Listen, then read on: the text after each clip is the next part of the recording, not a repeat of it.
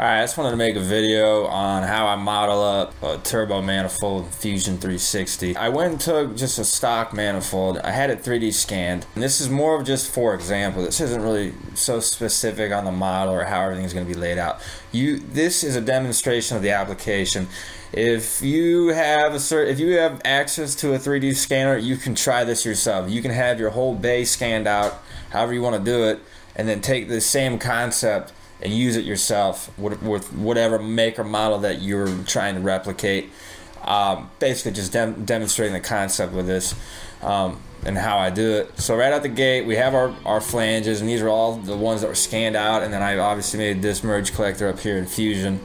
Um, and we basically have a replication of a long radius, two uh, manifold elbow, short radius, and then a piece of straight tube.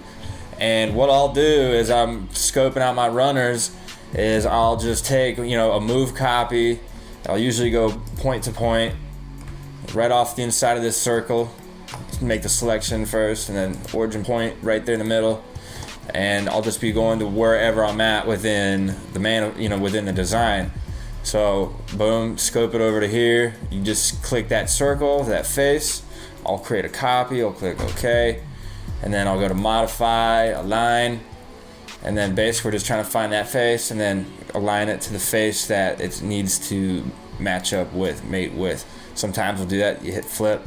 Once we have our straight two, we can just go right off this face and I'll hit the Q key on my keyboard and offsets just like that and I can actually still offset without losing my chamfer. I'm gonna rotate off the axis of this mating elbow. There we go. Sometimes it's tricky like that. But now I can already see that it will also need another cut this way. So we'll just see how much we need to turn it to shoot it straight. And we can see that five degrees pretty much gets us perfect. So I'm gonna go with the straight tube with the five degree offset and that'll shoot our runner pretty much right to where it needs to go.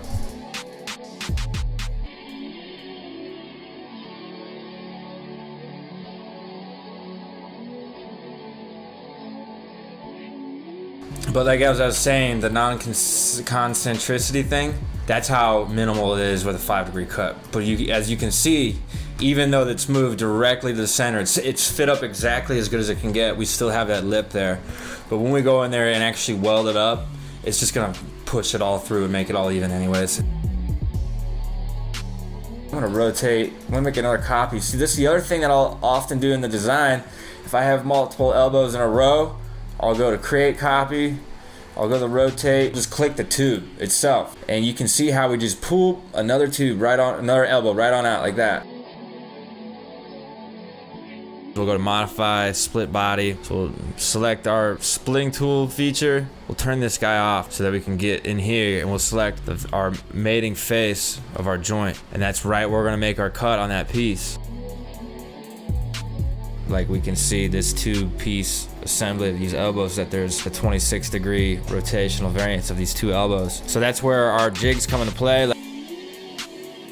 We would just make the mark at the 15 degree angle, take this elbow out, insert the new elbow, then you would make a, a mark right at your 90 degrees, line the, the two Sharpie marks up. But there's our, our 30 degree rotational replication. The other thing that you can also do is you can just set once you have your mating elbow set to zero, you can just take your angle finder, lay it on top of the elbow, and then just set it to whatever angle you need, and then just draw your Sharpie line in between the two pieces.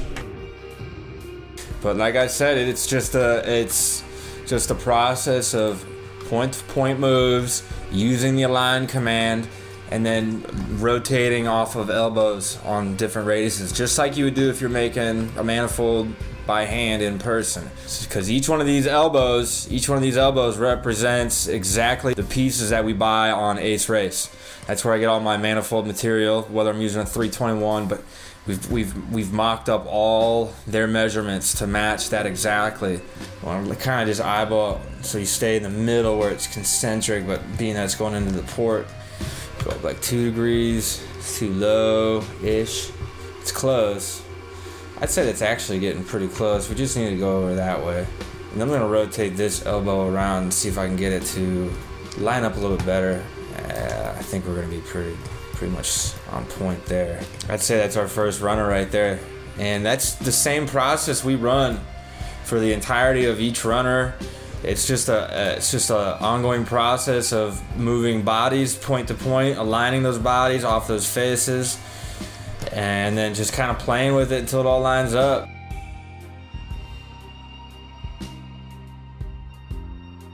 So I think overall, I'm pretty happy with this design. This runner here was probably, well not probably, this was definitely the most tricky runner. And I had a lot of back and forth thinking about if I should run this runner over the top or if I should run this one over the top.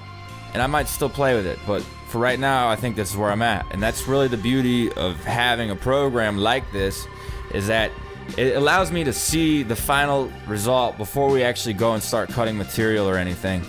I think I'll probably change these maybe like a the tight radius mandrel just because this runner is so much shorter than this one. Easier option as opposed to trying to get this one longer. Maybe I'll just try to get this one shorter and get it into here quicker. Which wanted you guys to see how, how really it's not that actually too difficult of a platform to really learn. So yeah, anyways guys, just uh, thanks for watching. I, I hope this video helps you guys out.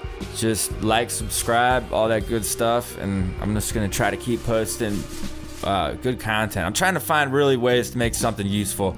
I'm trying to push myself first and foremost, and I want to actually offer something that maybe can help somebody out. Hopefully, this video helped you guys out. Um, if it did, just drop a comment. I'd love to hear what you guys have to say. Maybe some design iterations or any ideas. Just drop a comment, like, subscribe. Thank you for watching.